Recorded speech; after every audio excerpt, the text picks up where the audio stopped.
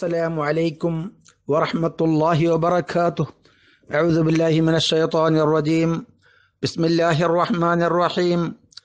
الحمد لله رب العالمين. الحمد لله الذي أرسل رسوله بالهدى ودين الحق ليظهره على الدين كله وكفى بالله شهيدا.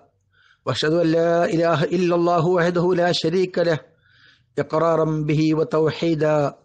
واشهد ان محمدا عبده ورسوله صلى الله عليه وعلى اله وسلم تسليما مزيدا اما بعد നിസ്കാരം ഒരു പഠനം എന്ന ഗ്രൂപ്പിലെ ഇരുന്നൂറ്റി മുപ്പതാമത്തെ എപ്പിസോഡാണ് ഇന്ന് ഞാൻ വിവരിക്കുന്നത് തജ്വീദ് ഒരു പഠനം എന്ന ഏഴാമത്തെ ക്ലാസ്സാണിത് നാം കഴിഞ്ഞ ക്ലാസ്സുകളിൽ ഇൽഹാറിനെ കുറിച്ചാണ് നാം പറഞ്ഞത്. എല്ലാവർക്കും ഇൽഹാർ മനസ്സിലായിട്ടുണ്ടാകും എന്ന് അറിയാം. ഇനി നാം പറയുന്നത് ഇദ്ഗാമും ബിഗുന്ന. ഇൽഹാറാകുമ്പോൾ അത് മണിക്കണ്ട എന്നതാണ്. ഇനി നാം പറയുന്നത് മണിക്കണം എന്നാണ്. മണിക്കേണ്ട അക്ഷരം എവിടെയാണ് എന്നാണ്. നേരത്തെ പഠി പഠിച്ച ആൾക്ക് ഇത് എളുപ്പമാണ് ഇനി ഞാൻ ഈ പറയുന്നത്. തജ്വീദിന്റെ കാര്യം പറയുമ്പോൾ ആദ്യം നോക്കേണ്ടത് സാക്കിനായ നൂനാ ഉണ്ടോ അല്ലെങ്കിൽ തൻവീനുണ്ടോ എന്നതാണ് നോക്കേണ്ടത്. പിന്നെ അതിന്റെ ശേഷം എന്താണെന്നാണ് നോക്കേണ്ടത് എന്ന് പറഞ്ഞു. ഇനി സാക്കിനായ നൂനിന്റെയും തൻവീന്റെയും എന്തൊക്കെ വിധികളുണ്ടോ അവിടെ ഒക്കെ നോക്കേണ്ടത് തൻവീനുണ്ടോ അല്ലെങ്കിൽ സാക്കിനായ നൂനുണ്ടോ എന്നതാണ്. എന്നാൽ ഇനി നമുക്ക് പറയാം ഇദ്ഗാമും ബിഗുന്ന. ഇദ്ഗാമും ബിഗുന്ന. ഇദ്ഗാം എന്നാൽ ചേർത്തി ഓതുക ജോയിന്റ് ചെയ്യുക എന്നാണ്. ഇൻഷാല്ല ഇദ്ഗാമിനെ കുറിച്ച് ഇപ്പോൾ ഞാൻ പറയുന്നില്ല.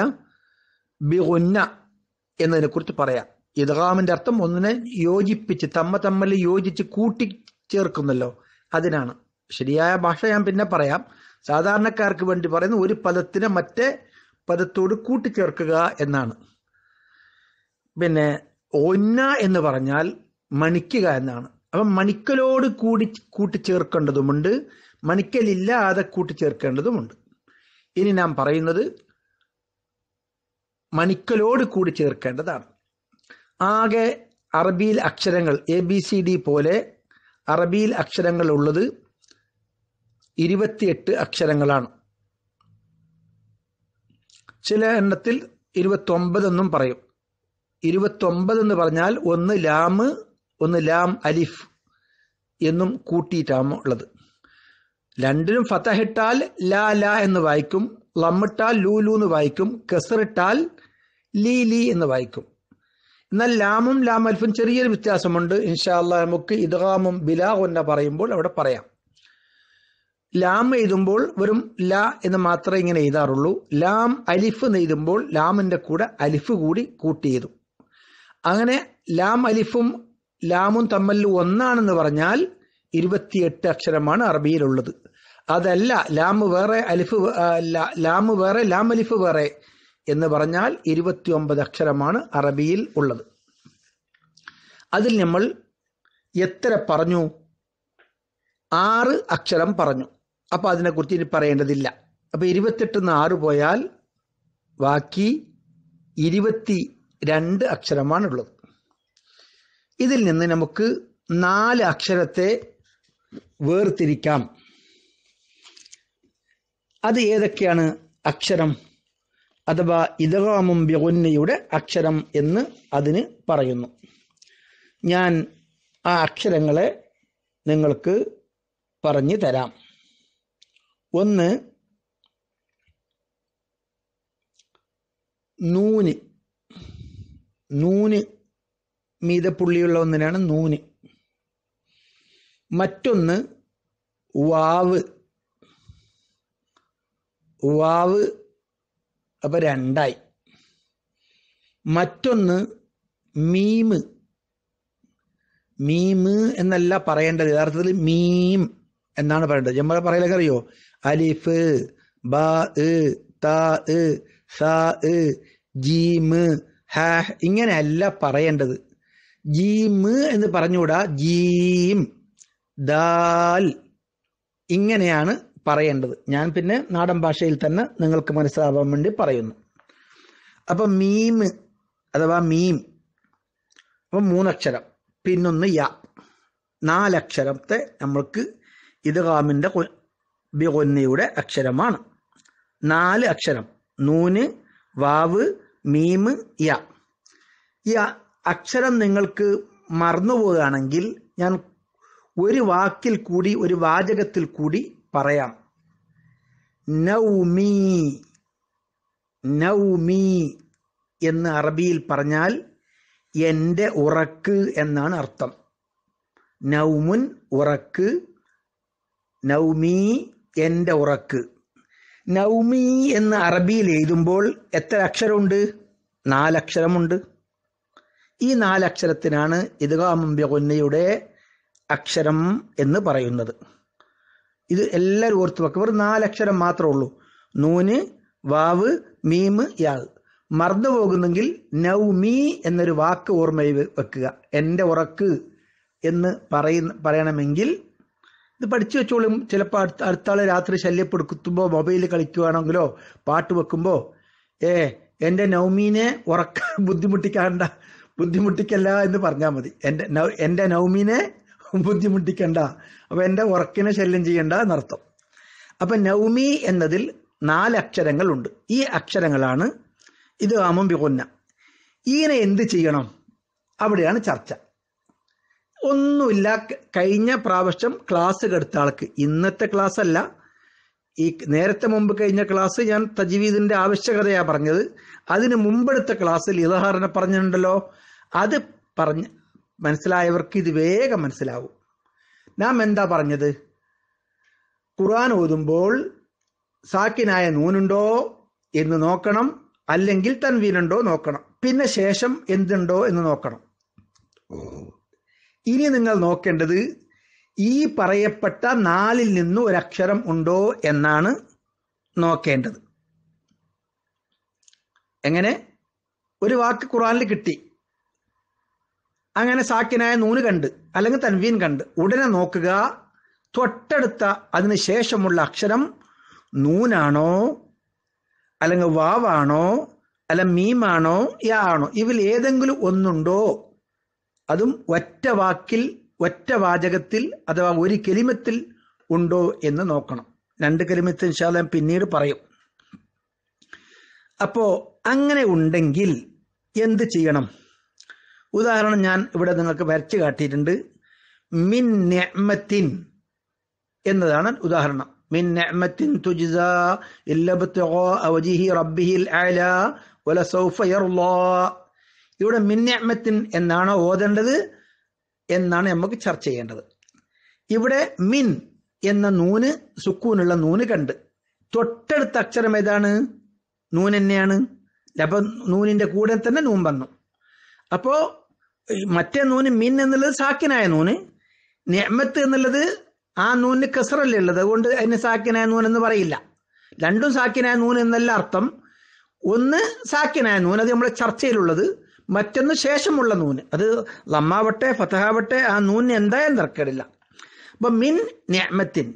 അപ്പൊ സാക്കിനായ നൂനിന് ശേഷം നൂന് വന്നാൽ അതിനെ മണിക്കലോട് കൂടി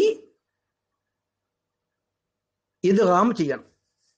അഥവാ മിൻ ന്യാമത്തിൻ എന്ന് വെവ്വേറെ അല്ല പറയേണ്ടത് കൂട്ടി പറയണം കൂട്ടി പറയുമ്പോൾ തന്നെ മണിക്കുകയും വേണം. അപ്പം മിൻ നിഅ്മത്തിൻ എന്നല്ല പറയേണ്ടത്?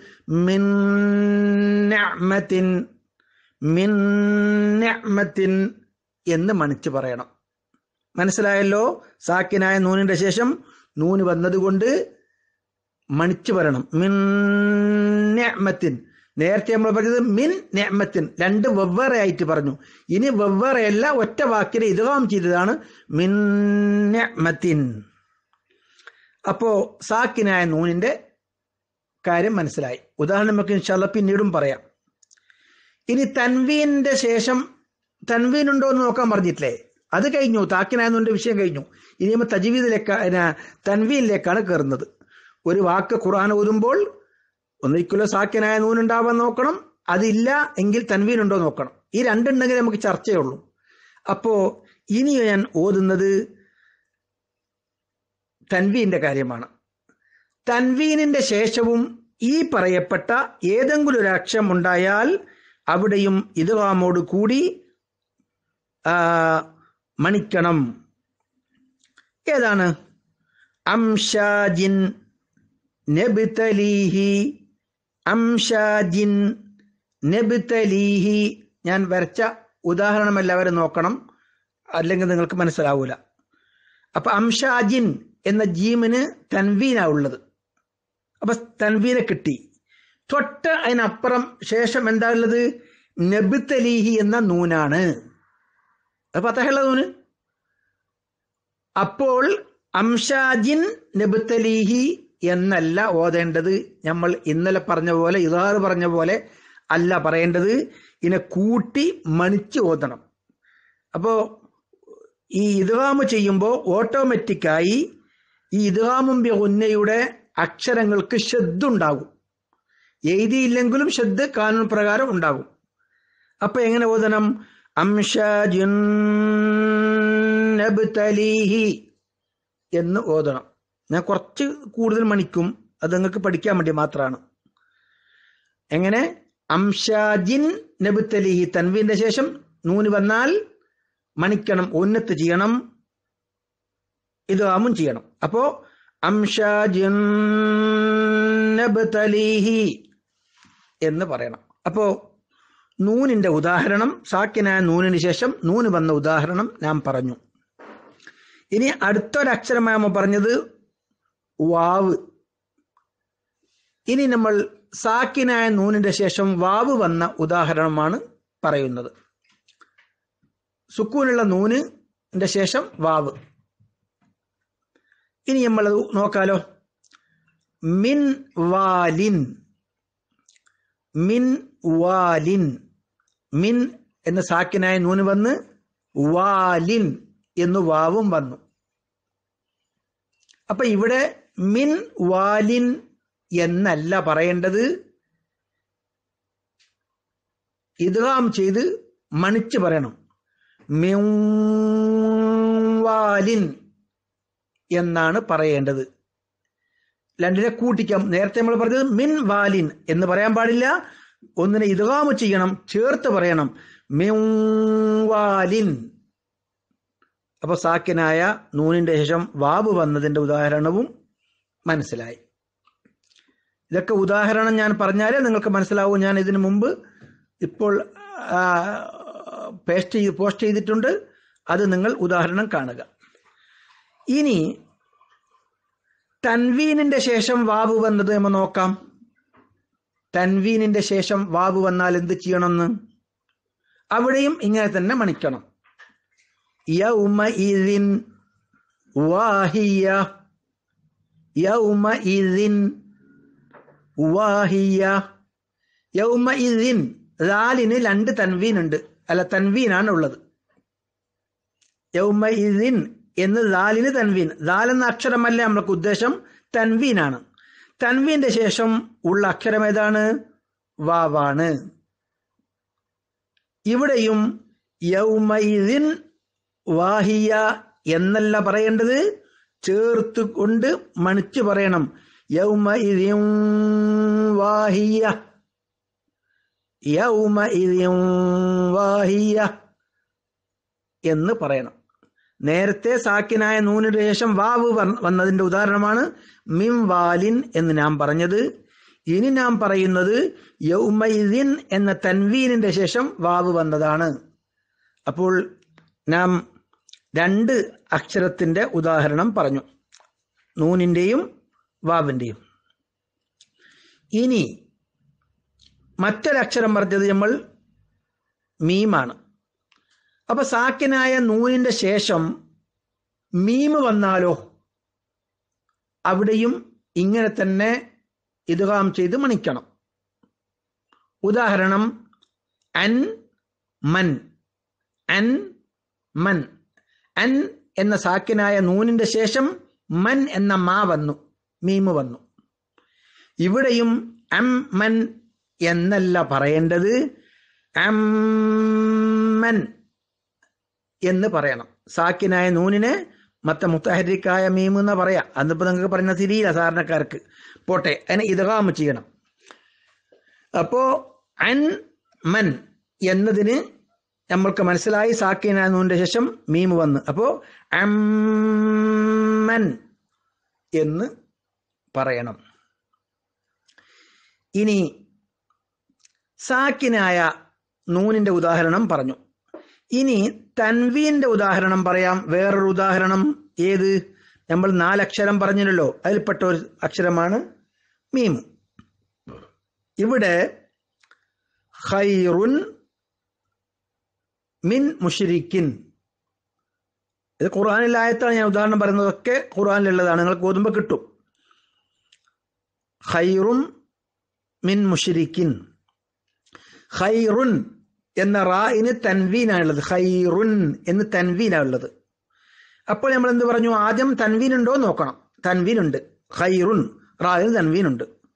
ഉടനെ എന്ത് നോക്കണം? ശേഷമുള്ള അക്ഷരം ഏതാണെന്ന് നോക്കണം. ഏതാക്ഷരം ഖൈറുൻ മിൻ. മീമാണ്. അപ്പൊ സാക്കിനായ നൂനിന്റെ ശേഷം മീം വന്ന്. എന്നാൽ ഇവിടെ ഖൈറും മിൻ എന്നല്ല പറയേണ്ടത്. ഇദ്ഗാമ് ചെയ്തിട്ട് കൂട്ടിച്ചേർത്ത് മണിച്ച് പറയണം. ഹൈറുമിൻ മുഷിരിക്കിൻ എന്ന് വേറെയും ഉണ്ട്. അപ്പൊ രണ്ടും കൂടി ഞാൻ പറഞ്ഞുതരാം. ഒന്ന് ഇവിടെ മണിക്കണം ഹൈറുൻ എന്ന തൻവീന്റെ ദേശം മീമ് വന്നു. മിൻ മുഷിരിക്കിൻ അവിടെ വേറൊന്നുണ്ട്. മിൻ എന്ന സാക്കിനായ നൂലിന്റെ ശേഷം മീമ് വന്നു. അപ്പൊ ഇവിടെ രണ്ട് സ്ഥലത്തും മണിക്കണം. എങ്ങനെ മണിക്കണം? ഖൈറും മിൻ ഖൈറും മിൻ എന്ന് പറയണം. ഇൻഷാല്ല മൂന്ന് അക്ഷരങ്ങളുടെയും ഉദാഹരണം നാം പറഞ്ഞു. ഇനി അവസാനത്തെ അക്ഷരമാണ് യാ. നമ്മൾ പറഞ്ഞല്ലോ ഇതാമബിഹുന്നക്ക് നാലക്ഷരമുണ്ട് നൗമി എന്ന വാക്കിലുള്ള നാലക്ഷരങ്ങൾ അതിൽ അവസാനത്തെ അക്ഷരം നൗമി എന്ന് മീമിന് നീട്ടാൻ വേണ്ടി യാ എഴുതുന്നുണ്ട് കേട്ടോ. അപ്പോൾ അതാണ് യാ. ആ യായിന് മുമ്പ് സുക്കൂനായ നൂന് വന്നാൽ എന്താക്കണം എന്ന് നോക്കാലേമോ അവിടെയും മണിക്കലോട് കൂടി ഇതറാം ചെയ്യണം. അപ്പൊ എങ്ങനെ പറയണം? മൻ ഉദാഹരണം ഞാൻ പറയാം. മൻ യക്കൂലു ഖുറാനിൽ പല സ്ഥലത്തും മൻ യക്കൂലു എന്ന് കാണാം. അപ്പോൾ മൻ യക്കൂലു മൻ എന്ന സാക്കിനായ നൂന് സുക്കൂനുള്ള നൂന് വന്നു. ഉടനെ നാം എന്ത് നോക്കണം? തൊട്ടടുത്ത അക്ഷരം ഏതാ നോക്കണം? ഏതാ അക്ഷരം? യക്കൂലു എന്നതിലുള്ള യ. മൻ യക്കൂലു അപ്പോ മൻ യക്കൂലു എന്ന് ഇലഹാറാക്കി പറയാൻ പാടില്ല. ഇദ്ഗാമ് ചെയ്ത് മണിച്ച് പറയണം. അപ്പോ മൻ യക്കൂലു മൻ യക്കൂലു എന്ന് പറയണം. മൻ യക്കൂലു എന്നല്ല. മൻ യക്കൂലു എന്ന് മണിച്ചിട്ട് പറയണം. അല്ലാതെ മയ്യക്കൂലു എന്നല്ല അങ്ങനത്തെ ഒരു കറാത്ത് ഉള്ളത് ഇൻഷാല്ല ഞാൻ പിന്നീട് പറയാം. പിന്നെ അപ്പം അതിന്റെ വലിയൊരു ആവശ്യം സാധാരണക്കാർക്ക് അത് വരൂല. കാരണം ഖുർആൻ ഏഴ് രൂപത്തിൽ ഓതാമെന്ന് ഞാൻ പത്ത് കറാത്ത് ഉണ്ടെന്ന് ഞാൻ പറഞ്ഞല്ലോ. ഏഴ് കറാത്ത് അല്ലെങ്കിൽ പത്ത് കറാത്ത് ഉണ്ട് അല്ലെ ഹംസ അലി അള്ളാഹുവിന്റെ ഒരു കറാത്ത് ഉണ്ട് അവരിൽ നിന്ന് ഹലഫിന്റെ ഒരു റിപ്പോർട്ടുണ്ട്. അവർ ഈ സ്ഥലത്ത് മണിക്കാതെ പറയൽ. മണിക്കാതെ ഇതാൻ ചെയ്യും. മയ്യക്കൂലു മയ്യക്കൂലു എന്ന്. അത് നമ്മുടെ കറാത്തല്ല. നമ്മുടെ ആസിം റലിള്ളാഹു താല അനുവിന്റെ റിവാത്ത് കറാത്തല്ല അഫ്സർ റലിള്ളാഹുവിന്റെ കറാത്ത് അല്ല അത് മറ്റൊരു കറാത്താണ് അതുകൊണ്ട് നിങ്ങൾക്ക് സാധാരണക്കാർക്ക് ആവശ്യമില്ല. അപ്പൊ മയ്യക്കൂലു എന്ന് പറയണം. അപ്പൊ എന്താ ഞാൻ പറഞ്ഞത്? മയ്യക്കൂലു എന്നൊരു വാക്ക് ഖുർആാനിൽ നമ്മൾ കണ്ടു. ഉടനെ നോക്കണം. സാക്കിനായ നൂനുണ്ടോ? ഉണ്ട്. ശേഷം എന്താണെന്ന് നോക്കണം? യാ. അപ്പൊ മൈ എന്ന് മണിച്ചിട്ട് പറയണം. അല്ലാതെ മൻ യക്കൂലു എന്ന് ഇലഹാറാക്കി പറയാൻ പാടില്ല. ഇനി തൻവീന്റെയും കൂടി ഒരു ഉദാഹരണം പറയാം. നാലക്ഷരം നമ്മൾ പറഞ്ഞല്ലോ. ആ. ആയത്തൻ ആയത്തൻ എന്ന്. ആയത്തൻ തായിന് എന്താ അക്ഷരം ഹർക്കത്തുള്ളത് ഏറാവുള്ളത് തൻവീനാണ്. ആയത്തൻ തൻ. ഞാൻ ഈ തൻവീനും ഈ സാക്കിനായ നൂനും തമ്മിലുള്ള ബന്ധം എന്ത് എന്ന് ഞാൻ പറഞ്ഞിട്ടില്ല. അത് നമുക്ക് പിന്നീട് പറയാം. ഓർമ്മയുണ്ടെങ്കിൽ. ആയത്തൻ എന്ന് തൻവീൻ ഉണ്ട്. നമ്മൾ എന്ത് പറഞ്ഞത്? ഒരു വാക്ക് ഖുർആാനിൽ നമ്മൾക്ക് കിട്ടിയാൽ ആദ്യം നോക്കേണ്ടത് തൻവീൻ ഉണ്ടോ എന്ന് നോക്കണം. അല്ലെങ്കിൽ സാക്കനാനോനുണ്ടോ? ഇവിടെ എന്തുണ്ട്? ആയത്തൻ തൻവീനുണ്ട് യു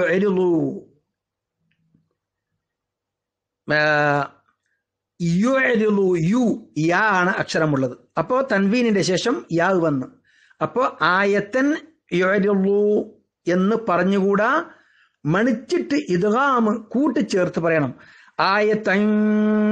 യുഅരിളു എന്ന് പറയണം.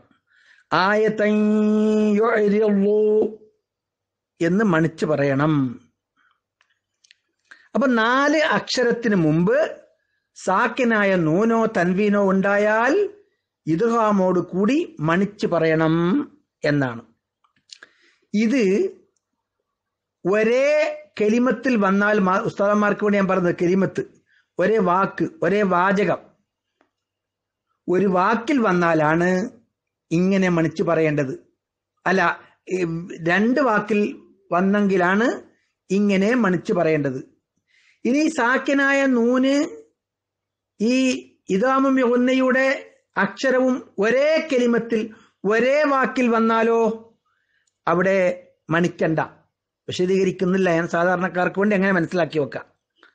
എന്താ ഞാൻ പറഞ്ഞത്? ഇതുവരെ നമ്മൾ പറഞ്ഞത് മിൻ നിഅമത്തിൻ മിൻ വേറെ വാക്കാണ് നിഅമത്ത് വേറെ വാക്കാണ്. അംഷാജിൻ നബുത്തലിഹി. അംഷാജിൻ വേറൊരു വാക്കാണ് നബുത്തലിഹി വേറെ വാക്കാണ്. മിൻ വാലിൻ. മിൻ വേറെയാണ് വാലിൻ വേറെയാണ്. യൗമൈദിൻ വാഹിയ. യൗമൈദിൻ വേറെയാണ് വാഹിയ വേറെയാണ്. അൻ മൻ. അൻ വേറെയാണ് മൻ വേറെയാണ്. ഖൈറുൻ മിൻ മുഷിരിക്കിൻ രണ്ട് എല്ലാം വെവ്വേറെ വാക്കാണ്. ഇനി ഒരേ കെലിമത്തിൽ തന്നെ ഒരേ വാക്കിൽ തന്നെ ഒരേ വേർഡിൽ തന്നെ സുക്കൂനുള്ള നൂനും ഇദ്ഗാമുമ്പിയുടെ ഈ നാല് അക്ഷര അക്ഷരത്തിൽ നിന്ന് ഏതെങ്കിലും ഒരു അക്ഷരം വന്നാൽ അവിടെ മണിക്കണ്ട. ദാ പോസ്റ്റ് നോക്കിക്കോളും എല്ലാവരും. ഞാൻ മണിക്കണ്ട എന്ന് എഴുതിയിട്ട് ഉണ്ട്. അത് ഞാൻ പോസ്റ്റ് ചെയ്യുന്നുണ്ട്. ഏതാണ്? അത് ഞാൻ പറയാം. കെൻവാനുൻ. ഇത് ഒരേ വാക്കാണ്. കെൻവാനുൻ എന്ന് പറഞ്ഞാൽ രണ്ട് വാക്കല്ല ഒറ്റ വാക്കാണ്. ഇവിടെ നമ്മുടെ അഭിപ്രായത്തിൽ കെൻവാനുൻ എന്ന് നോക്കിയാൽ ഞാൻ പറഞ്ഞ അടിസ്ഥാനത്തിൽ നമ്മൾ ചർച്ച ചെയ്ത അടിസ്ഥാനത്തിൽ കെൻ സാക്കിനായ നൂൻ വന്ന്. വാനുൻ തൊട്ടടുത്ത് വാവും വന്നു. അപ്പൊ നമ്മൾ പറഞ്ഞ പ്രകാരം എങ്ങനെ ഓതണം? ഗൻവാനുൻ എന്ന് ഓതണം. ഇവിടെ അങ്ങനെ ഓതിക്കൂടാ. അത് ഒരു കരിമത്തിലാണ് സുക്കൂനുള്ള നൂനും. ഇതാമമ്പി കൊന്നയുടെ അക്ഷരം വന്നതുകൊണ്ട് വാനുൻ എന്നാണ് ഓതേണ്ടത്. ഇവിടെ മണിച്ചു ഓതാൻ പാടില്ല. അത് പ്രത്യേക വാക്കുകളാണ് ഇത്. ഒന്ന് ഓതി വെച്ചോളൂ. ഞാൻ നാല് ഉദാഹരണം പറഞ്ഞുതരാം. കിൻവാന് ബുന്യാന് സിൻവാന് ദുനിയ എന്നീ നാല് പദങ്ങൾ മാത്രമാണ് ഇങ്ങനെ ഇദ്ഗാമും ബിഹുന്നന്റെ അക്ഷരം വന്നാൽ വെളിവാക്കേണ്ടത് ഉള്ളത്. എന്തെല്ലാം? കെൻവാന് ബുന്യാന് സ്വിൻവാന് ദുൻയ ഇവിടെ മണിക്കാൻ പാടില്ല. നോക്കിയാൽ നമ്മൾക്ക് തിരിയും ഇദ്ഗാമിന് സാക്കിനായ നൂനുണ്ടാകും ശേഷം ബിഗുന്നയുടെ അക്ഷരം ഉണ്ടാകും അവിടെ മണിക്കാൻ പാടില്ല ഈ നാല് അക്ഷരങ്ങൾ. അപ്പൊ ഇതിന് കാരണം എന്താണ് ചോദിച്ചാൽ നിങ്ങൾ എന്ത് പറയണം? അവിടെ സാക്കിനായ നൂന് ഇതാമ്പിയുടെ അക്ഷരം ഒരു കിലിമത്തിലായത് കൊണ്ടാണ് ഒരു വാചകത്തിലായത് കൊണ്ടാണ് എന്ന് പറയണം. ബുൻ യാനുൻ എന്ന വാക്കിൽ കാണാം ബുൻ എന്ന്. സാക്കിനായ നൂനും യാനുൻ യാവും കാണാം. നിയമ നിയമപ്രകാരം ബുൻ യാനുൻ എന്ന് പറയണമെങ്കിലും ഇവിടെ ഇലഹാറാക്കിയിട്ടാണ് ഓതേണ്ടത്. പിന്നെ ഇലഹാർ എന്ന് ഞാൻ പറയുന്നത് നിങ്ങൾ മനസ്സിലാക്കും എവിടെയാണ് ഇലഹാറിന്റെ അക്ഷരം? ആ ഇലഹാർ ഉദ്ദേശിച്ചതല്ല ഇവിടെ വെളിവാക്കി നൂനിനെ വെളിവാക്കിയിട്ടാണ് എന്താക്കേണ്ടത് ഓതേണ്ടത്. സ്വിൻവാനുൻ ഇവിടെയും സ്വാദിന്റെ ശേഷം സാക്കിനായ നൂൻ വന്ന് സാക്കിനായ നൂനിന്റെ ശേഷം വാവ് വന്ന് ഇവിടെയും സ്വിൻവാനുൻ എന്ന് മണിച്ചുകൂടാ സ്വിൻവാനുൻ മറ്റൊന്ന് ദുന്യ റബ്ബന ആത്തിന ഫിദ്ദുന്യ അവിടെ എങ്ങനെ ബോധിക്കൂടാ? ഫിദ്ദുന്യാന്ന് മണിച്ചൂടാ. അപ്പൊ ചോദിക്കല്ല ഉസ്താദെ നിങ്ങൾ ദുന്യാന്ന് സാക്കിനായ നൂന്റേശം എന്റെ അക്ഷരം ഉണ്ടോ നോക്കണം?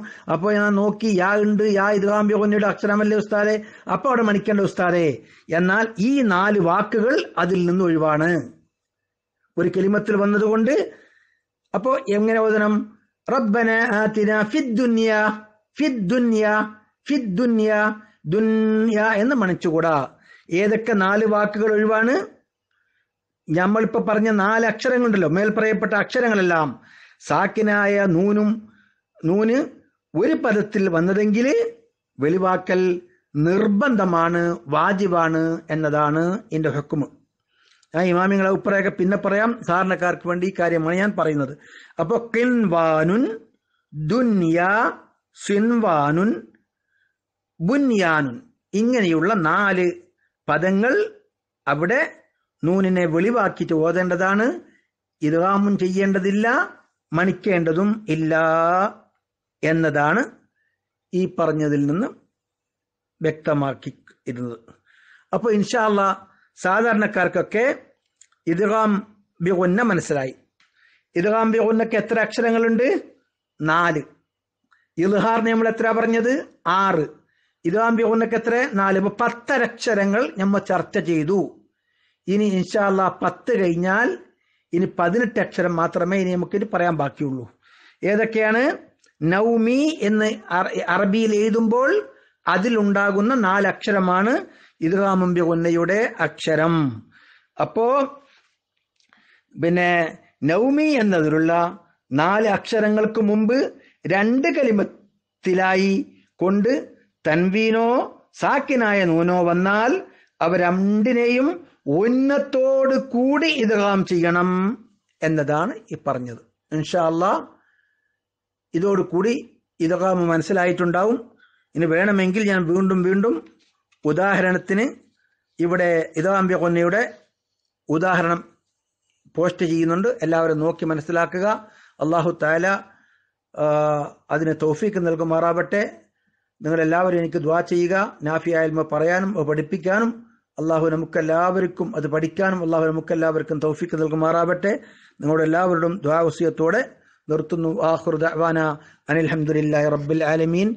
അസ്സലാമു അലൈക്കും വറഹമത്തല്ലാഹി വബർക്കാത്തു നിസ്കാരം ഒരു പഠനമെന്ന ഈ ക്ലാസ് മുടങ്ങാതെ നിങ്ങൾക്ക് ലഭിക്കാൻ വേണ്ടി ഈ ചാനൽ ഒന്ന് സബ്സ്ക്രൈബ് ചെയ്യുക. തൊട്ടടുത്തുള്ള ബെൽ ഐക്കണിൽ ക്ലിക്കും ചെയ്യുക.